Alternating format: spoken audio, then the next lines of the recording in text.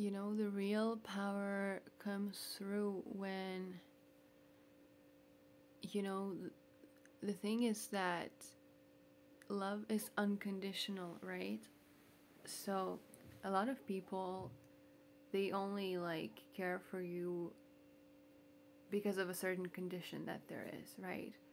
And if that condition is not met, it's like they throw you out, and because it's not love, it's kind of like user kind of like approach to everything into people, and that's not love because love is unconditional. So you love people regardless of anything, really. You just love them just because, you know?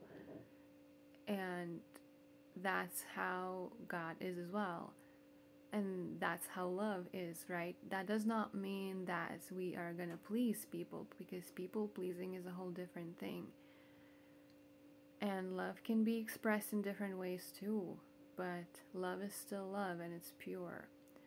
So the real like power is when we love people anyway, right? No matter what they did to us, despite of what they did to us, you know? And yeah, like you just love them, you know? Doesn't matter what they did. Yeah, like you you love them anyway. You love them regardless of the fact that they're horrible, that they're disgusting, that they're doing horrible things, that they're mean, that they're liars, they're manipulators, they're cheaters. Yes, all of that is true and we're not taking that away from them we're still gonna be telling them how horrible they are if that's necessary and if that's what we are there to do. But we still love them anyway, right? And it's up to them to change their behavior and it's up to us to do our thing, but we love them, you know?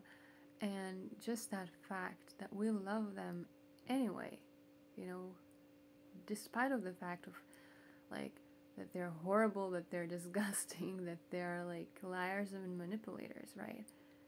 There is no condition. We love them anyway. And that feeling of just knowing that is just so powerful and it actually makes you like so, so strong as well. Like, because the devil, he wants to deceive you here. Like, look, I'm gonna make this person do something really bad to you.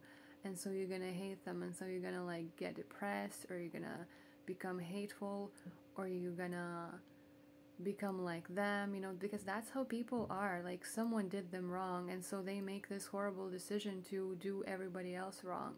And that's where they fall for the lie from the devil because, I mean, that's just keeping them stuck, right?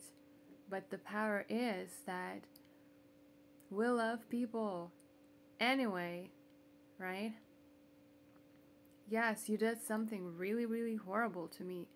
You know what? I love you. Like, I love you anyway.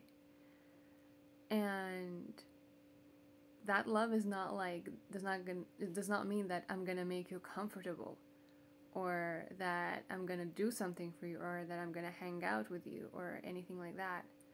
You know? It's like, you know, that these like details in the meanings that people have and whatever, you know.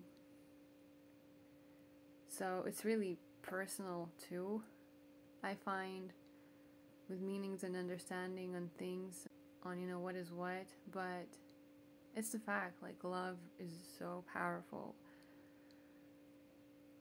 And when you are in that state, of loving people regardless, that literally makes you invincible.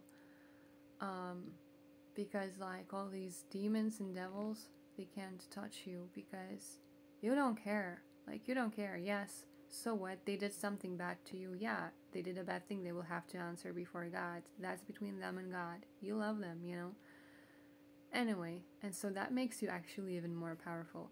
So I just thought it's really cool and I wanted to share.